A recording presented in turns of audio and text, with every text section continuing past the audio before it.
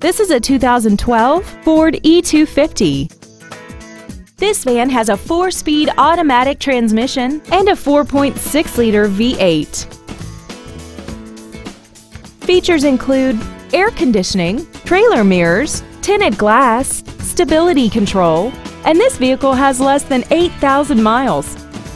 This Ford has had only one owner and it qualifies for the Carfax buyback guarantee.